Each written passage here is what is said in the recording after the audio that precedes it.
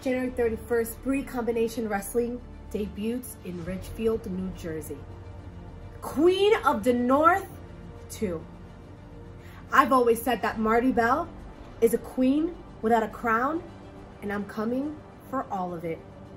Danny Jordan, you call yourself a mean girl, but I'm a grown-ass woman.